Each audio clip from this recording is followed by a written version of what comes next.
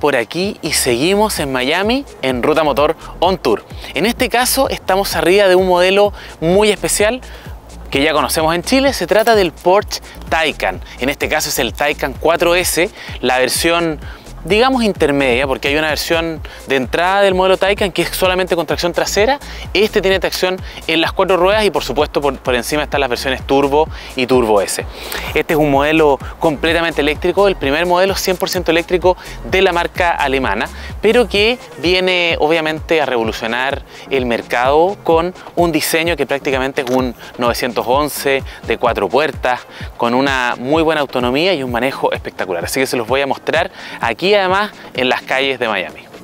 Antes de comenzar, como siempre, me gustaría invitarlos a que a nuestro canal de YouTube. Para eso, aprieten el botón aquí que dice suscribirse, también una campanita para que les llegue una notificación cada vez que subamos un video nuevo. Después de eso, nos pueden seguir en las redes sociales, en Facebook, Twitter, Instagram, LinkedIn, TikTok y ahora además nos pueden visitar en nuestro sitio web rutamotor.com. Así que vamos con el Taycan 4S 2022.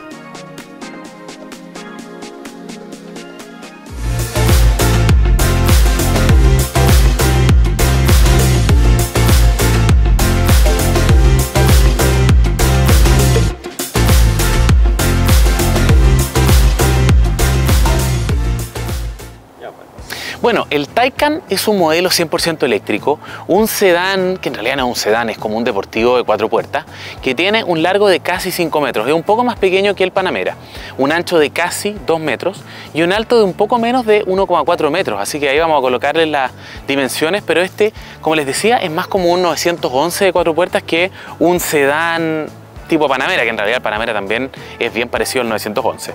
Como pueden ver, las líneas son bien de Porsche, pero reinterpretadas para este modelo 100% eléctrico.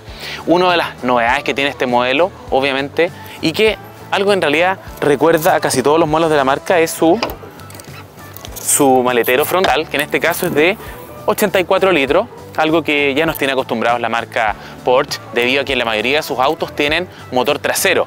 El Panamera tiene motor delantero, así que es el único de esta carrocería o este estilo que no tiene maletero en la parte frontal. Después, obviamente, un detalle nuevo son estas luces que como pueden ver son distintas a las luces redondas que tienen la mayoría de los modelos Porsche como el 911, los 718, incluso los Macan o los Cayenne.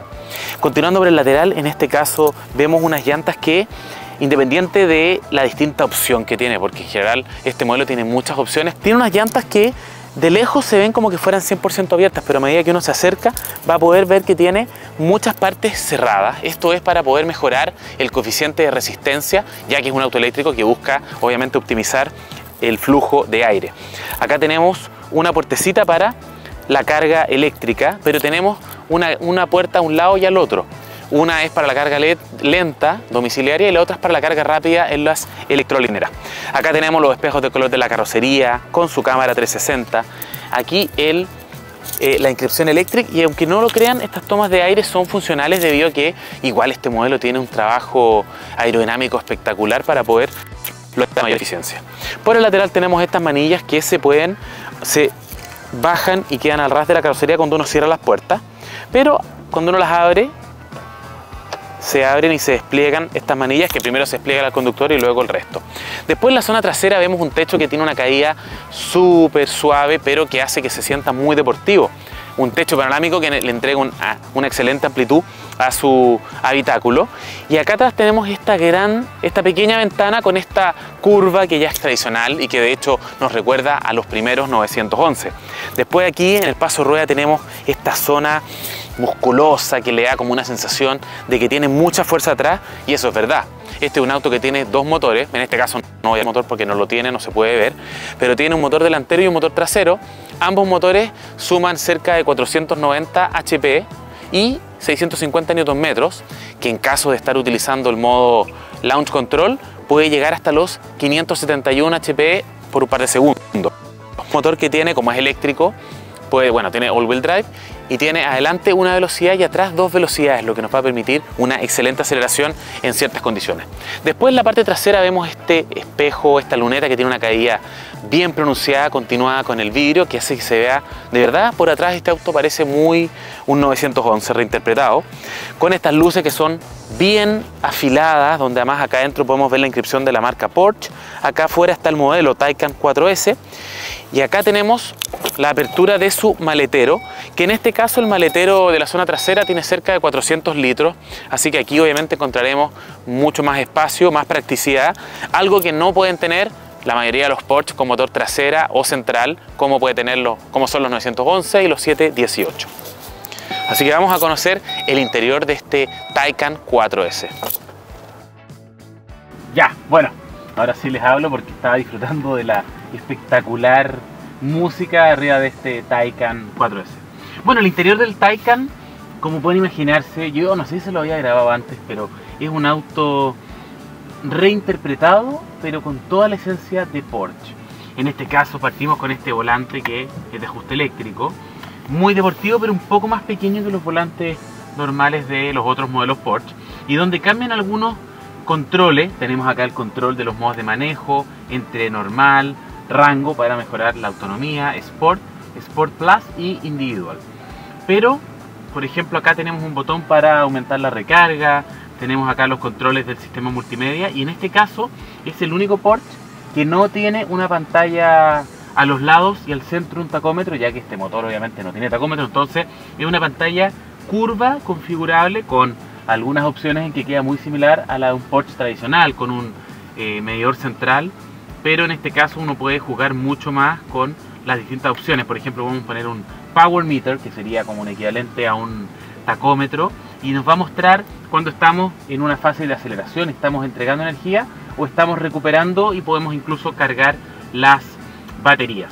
Al lado izquierdo mantenemos el velocímetro que siempre uno encuentra en el modelo y a la derecha hay un gran computador a bordo que podemos ver el mapa del GPS, muchas cosas, pero en este caso por ejemplo yo quería colocar el, eh, bueno, podemos colocar el distintos modos, la verdad, hay mucha información. En este caso, el resto del tablero también tiene varios cambios. De partida no tenemos la llave al lado izquierdo para dar contacto, sino un botón de encendido, que es un botón como el de para encender una luz. Eh, después tenemos a este lado, tenemos los comandos para, la, para activar las luces, está en modo automático normalmente, pero acá tenemos los comandos para activarlas y prenderlas de manera manual. Aquí a este lado tenemos los botones para acceso rápido a las funciones de desconexión de estabilidad, eh, endurecimiento de la suspensión elevación de la carrocería o para acceder a algunas otras funciones de acceso rápido que podemos colocar ahí también, al igual que en el volante. Después acá tenemos el comando para elegir entre los modos reversa, neutro y drive y un botón parking al lado de este, pero dejamos toda esta consola liberada, donde en la zona superior tenemos una pantalla para el sistema multimedia, la cámara de retroceso, en este caso tiene cámara 360 y en algunas versiones puede incluso tener una pantalla frente al asiento del copiloto. En la parte superior tenemos el reloj del paquete Sport Chrono, eso es algo muy normal de la marca.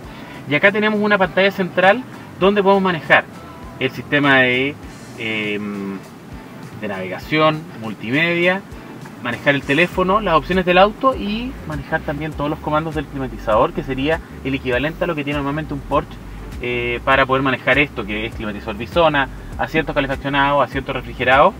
Incluso acá abajo hay un touchpad donde podemos escribir cosas de manera manual, aquí táctil. También podemos abrir con esto el capó o el maletero. Podemos abrir el capó de manera eléctrica y atrás también podemos abrirlo de manera eléctrica. Entonces con esto podemos acceder, inclusive también podemos acceder a los dos cargadores que tiene un lado el de corriente continua y el otro lado el de corriente alterna. Uno es para carga rápida y otro es para carga lenta. Después tenemos posavasos, una consola central aquí con un cargador inalámbrico, algunos enchufes USB-C y acá abajo tenemos un, enchufe, un espacio donde podemos dejar de hecho un teléfono por ejemplo. Así que en este sentido, si viene un auto bien deportivo, la verdad que uno se siente como en un 911 en posición de manejo, tiene un poco más de espacio debido a que no tenemos la caja de cambio. Después la sensación de amplitud de este modelo es muy rica gracias a este techo panorámico tremendamente amplio es un auto de cuatro puertas, cuatro asientos y una muy buena calidad de manufactura como uno ya esperaría en la marca Porsche. ¿Qué otras novedades tiene? Bueno, este modelo viene con audio premium Bose, obviamente que suena muy bien, además que se nota que está muy bien integrado, muy bien distribuido en el habitáculo, así que casi diría que suena mejor que en otros modelos, pero suena muy bien. Y, eso es todo para manejar el resto. Vamos a verlo en, una, en la prueba de manejo, qué otras novedades tiene este modelo. Vamos a al asiento trasero antes de despedirme. Bueno, la sensación de espacio aquí atrás del Taycan Lógicamente que es un poco menos amplio que el Panamera, no es tan grande como el Panamera. El techo de hecho tiene una caída un poco más acusada, o sea, una caída más parecida a la de un 911. Y esto se puede notar aquí, en, el espacio para la cabeza, que si bien es amplio, además que tenemos un techo panorámico fijo que entrega una tremenda sensación de amplitud, pero no tiene ni cortina eléctrica. Bueno, hay que decir que con este tinteado que tiene no molesta para nada a pleno sol, así que se consiguió completamente el objetivo. Eh, pero el espacio no es tan amplio y además que como tiene una caída de techo y si yo me echo para atrás, prácticamente rozo ahí y eso que yo no soy muy alto, yo mido un metro 73, así que alguien de más de un metro 75 probablemente va a quedar un poco justo. El asiento sí es un asiento cómodo, tenemos también aquí un apoyabrazos con posavasos, así que este asiento está pensado para cuatro pasajeros, pero al, al centro solamente tenemos una consola central. Hay salidas de aire en el asiento trasero y no tenemos enchufes USB. Lo que sí hay es alzavidrio en la parte trasera. Después algunas lucecitas, ganchito aquí para colgar algo y eso sería. la butaca delantera no quita tanto espacio porque aunque es muy cómoda, pero es relativamente compacta, así que eso se agradece mucho. Así que vamos a manejar este Taycan 2022. Bueno, los mandos de este Taycan 4S nos encontramos con un modelo que de entrada uno se siente en un Porsche, que eso es algo muy importante.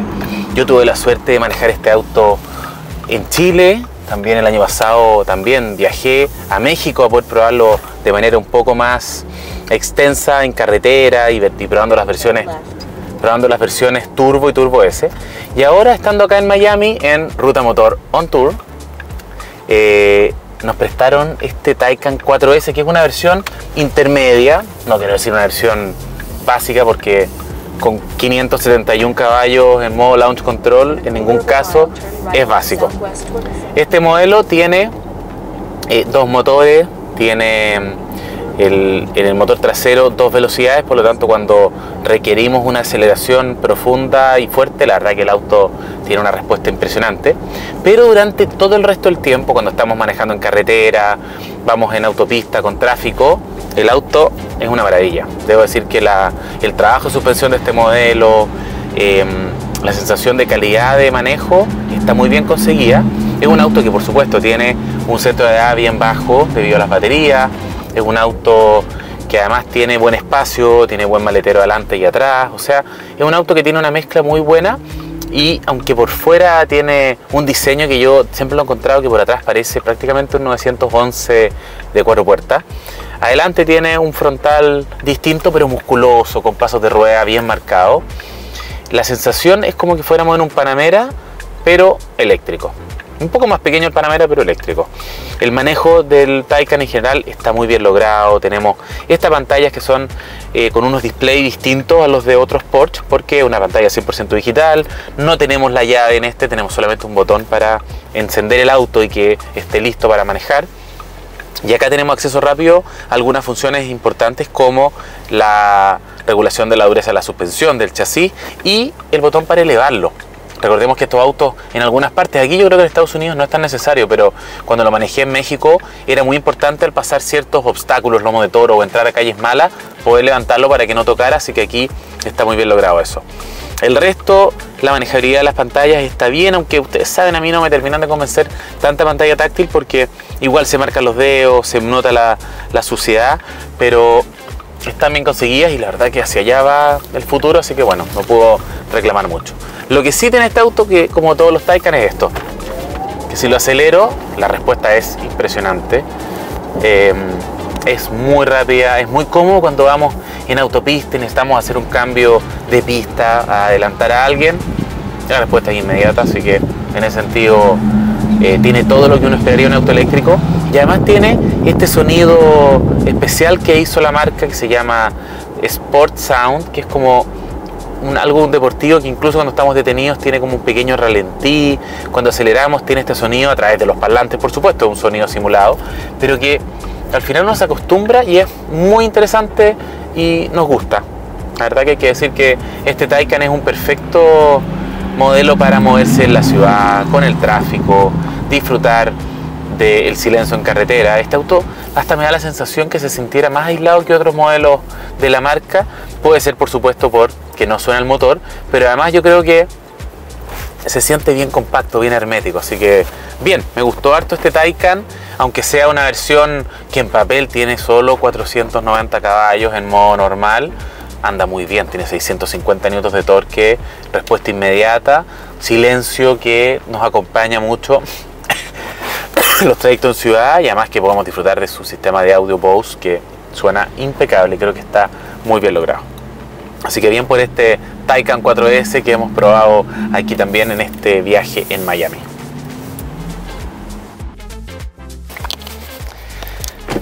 Y bueno amigos, eso ha sido esta prueba silenciosa, eléctrica y muy cercana al futuro de este espectacular Taycan 4S. Obviamente los detalles positivos se trata de un auto que mantiene un manejo espectacular, muy cercano a lo que nos entregan cualquier modelo de la marca deportiva Porsche. Eh, de todas maneras tiene un empuje espectacular, una respuesta inmediata, así que si ustedes quieren sorprender a el copiloto o alguno de los que vaya sentado atrás, puede acelerarlo a fondo en cualquier minuto y la respuesta va a ser impresionante. Detalles positivos, obviamente su equipamiento, su tecnología, cómo está todo calibrado para que sea un auto que es muy fácil acostumbrarse a él y es muy eficiente. Obviamente también el empuje, su motor es un detalle muy interesante y el audio me encantó, debo decirlo que lo he disfrutado mucho y es algo que pasa mucho con auto eléctrico que como no tiene sonido, tiene un pequeño sonido artificial que es bien interesante igual, esto de tener un audio premium se disfruta mucho más. Detalles mejorables, yo creo que son pocos, en realidad me falta quizás tener un poquitito más de, no sé qué puedo decir, la verdad, no, no, la verdad, detalles mejorables, creo que como en otros modelos de la marca, falta un poco de espacio donde dejar cosas. La verdad que siempre cuando uno tiene usar un celular un poco más grande, cuesta ponerlo en la guantera. Este tiene espacio debajo de la consola central, pero igualmente no, no tiene tantos espacios como uno podría esperar. Y esto de tener tanta pantalla táctil a veces me no me molesta, pero me parece que podría tener algunas perillitas para los accesos rápidos, ya que tanto touch en ciertos momentos cuando uno está manejando o quiere buscar algo rápido, no es tan tan rápido el acceso como si tuviéramos una perilla para el volumen, para cambiar de radio, por ejemplo, o cosas así. El resto, difícil de criticar este modelo, espectacular, uno se siente que el futuro de la electrificación ya está aquí, así que muy bien logrado este modelo 100% eléctrico de la marca Porsche. Así que bueno amigos, espero que les haya gustado esta prueba. Obviamente es un auto distinto que no tenemos toda la, oportunidad de probarlo muy seguido. Así que más que feliz y vamos a seguir disfrutando por supuesto de este Porsche Taycan 4S aquí en Miami y continuando con este grupo de videos llamados Ruta Motor On Tour. Cuídense mucho y nos vemos el próximo día.